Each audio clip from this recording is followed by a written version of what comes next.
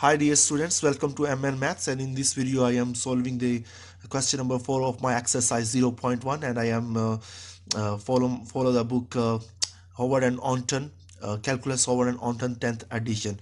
So uh, the question number 4 of my exercise 0.1 is comparison of natural domain of f of x and g of x. Uh, sometimes the examiner give you a two function and uh, asked you to compare the natural domain of these two functions. So uh, the question number four the part number one is uh, the f of x f of x is equals to x square plus x divided by x plus 1 and g of x is equals to x so we have to the natural domain of these two functions separately and then compare compare them. So uh, first we have to solve we are solving the f of x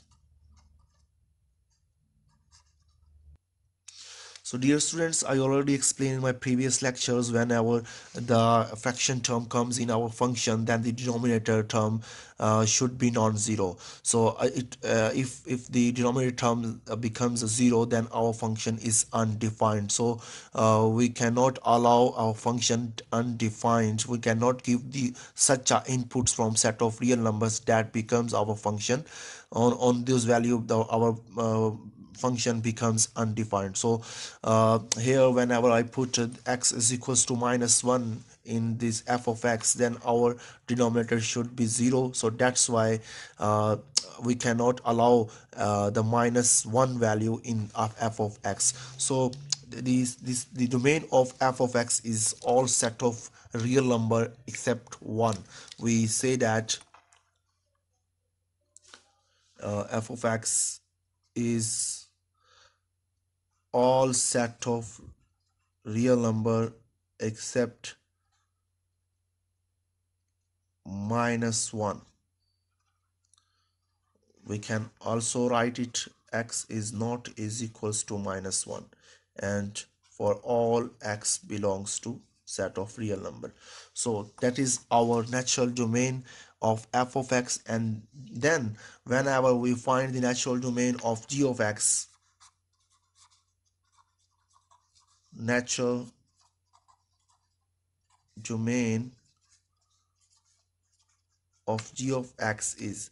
So g of x is just equals to x so we can put any number uh, in the place of x and it give us our uh, same number uh, as an output. But in this question we are just finding domain of g of x so that's why we can uh, put there is not uh, any restrictions imposed on uh, this g of x function. So uh, in in that case in that case g of x is equal to x. The domain is all set of real number. We can just say as uh, domain of f of x is all set of real numbers.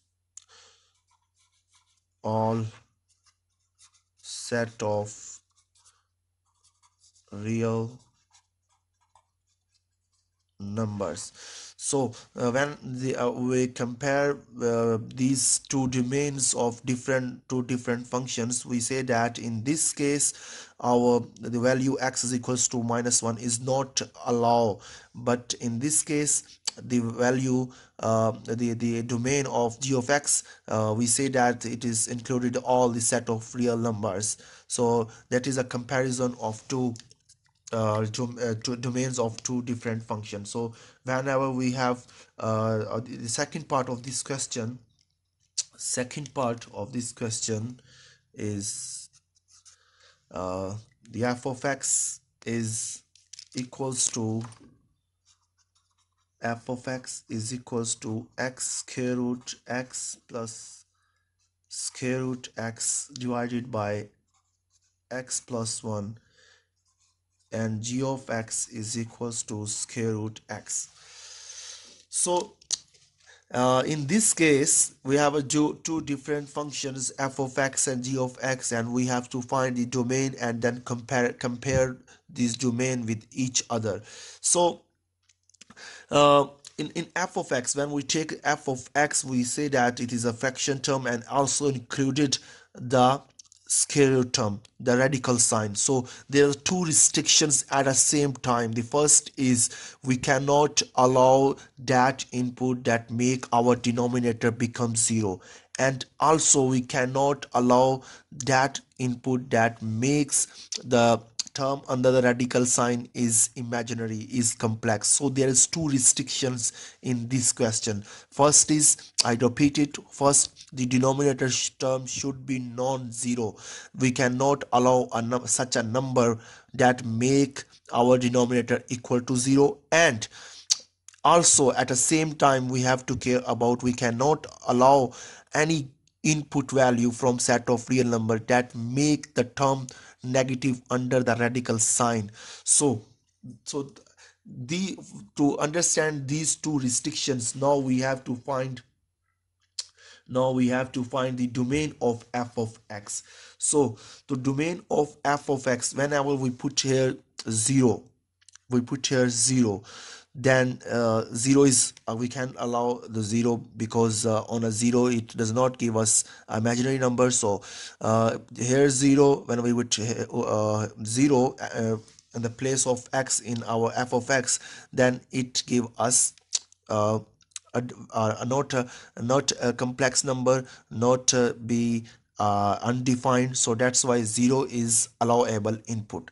And whenever we put 1 in the place of x then here is 1 here is 1 here is 1 square root of 1 is equals to 1 so 1 plus 1 2 and here is also 1 1 plus 1 2 over 2 and uh, after cancellation of 2 and 2 it uh, it give us a well well defined uh, output. So it the, the domain of f of x is all real number greater than equals to 0 because whenever we put a minus 1 we cannot allow minus 1 here. Because for minus 1 our term under radical sign becomes becomes a, a complex number.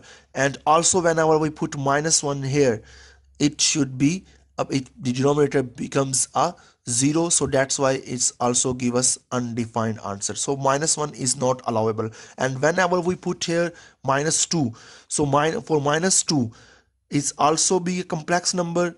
Be imaginary part we uh, so that's why we also not we cannot the negative 2 so up to so on we cannot allow the negative terms in the place of x. So that's why the domain of f of x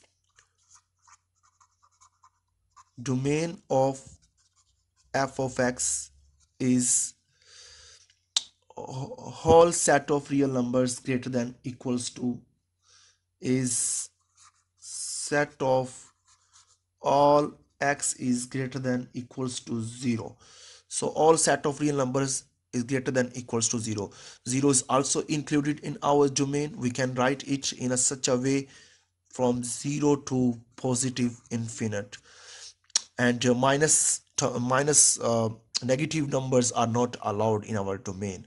So whenever we uh, solve this uh, g of x domain of g of x so domain of g of x is so here there's not uh, such a number uh, it's not a fraction term just uh, be uh, included a radical sign. So uh, we know whenever the radical sign comes in our function we just have to we have to care about uh, we cannot allow the negative number in the place uh, uh of under that and on the place of the term under the radical sign. Because whenever the neg negative sign comes in our term uh, in our radical sign it becomes a complex number. So the domain of this is also be also be same domain uh, like uh, the domain of f of x. So it's also all set of is set of all x is greater than equals to 0 we can also 0 we can write here. So domain of f of x and g of x is equals